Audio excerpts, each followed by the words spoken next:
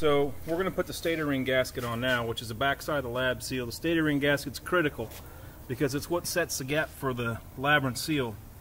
So when you put the silicone on that surface, you just want a very, very light coating. Too much silicone will, will mess you up. It's better to have not enough than it is to do too much in this case. Again, just put it on with your finger and a very light coating. And then we'll put the stator ring gasket on. Now one trick I'll show you is, or not a trick, but these stator ring gaskets are somewhat frail and they will crack and break in the holes. So I always have CPM send me two just in case because I've had them break several times.